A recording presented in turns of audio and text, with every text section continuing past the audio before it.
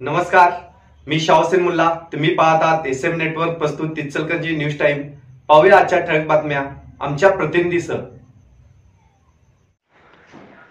ज्येष्ठ नागरिकांच्या समस्या सोडवण्यासाठी भाजपाने स्थापन केलेल्या आघाडीच्या माध्यमातून महायुतीचे उमेदवार धैर्यशील माने यांना विजयी करण्यासाठी ज्येष्ठ नागरिकांनी मतदान करावे आणि पंतप्रधान मोदी यांच्या विकास कामास साथ करा असे आवाहन प्रदेश भाजपा उपाध्यक्ष माजी आमदार सुरेश हळवणकर यांनी येथे केले. मेळाव्या प्रारंभी जिल्हानी टाकोडे यांनी स्वागत केले. तर कार्यक्रमाचे अध्यक्ष दीपक कडोलकर यांनी प्रास्ताविक केले.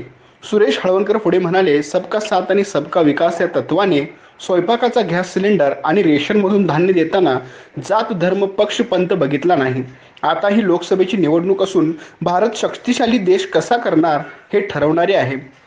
पण काँग्रेससह विरोधक गटारी रस्ते आणि पाणी आपले गाव पाठीवरचे विषय मांडून दिशाभूल करत आहेत.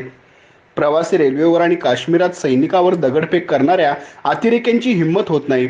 मोदींच्या स्पष्ट परराष्ट्र नीतीमुळे ते जगात एक नंबरचे नेते बनले आहेत. भारतातील पंचवीस कोटी लोकांची गरिबी हटली असून त्यांच्यावर भ्रष्टाचाराचा एकही आरोप झाला नाही. आणीबाणीतील राजबंदींना चालू असलेली पेन्शन उद्धव ठाकरे काळात बंद झाली होती. ती आता पुन्हा चालू केलेली आहे. संघाय लाभार्थींच्या पेन्शनमध्ये वाढ होणार असून वयश्री योजनेसाठी नाव नोंदणीचे काम संघटनेतर्फे सुरू करा आणि योग्य त्या माणसापर्यंत सरकारी योजनांचा लाभ द्या असेही त्यांनी आवाहन केले. तर इचरगंजीचे ते ज्येष्ठ डॉक्टर एस पी मर्दा यावेळी म्हणाले नरेंद्र मोदीचे नेतृत्व फार महत्त्वाचे असून जगाच्या पाठीवर देशाला मोठे स्थान मिळवून दिले आहे. सर्वसामान्यांचे हे लक्षात येत नाही. ते जगातील एक नंबरचे नेते आहेत असे सांगितले. यावेळी संजय गांधी निराधार योजनेचे शहराध्यक्ष ॲडव्होकेट अनिल डाळ्या यांनी विविध वि- योजनांची माहिती दिली आणि लाभार्थींना सहकार्य करण्याची तयारी दर्शवली. कार्यक्रमात यावेळी संघटनेचे जिल्हाध्यक्ष पांडुरंग म्हातुकुंडे उपाध्यक्ष वसंत पोवार दौलत पाटील आदींची भाषणे झाली. शेवटी आभार.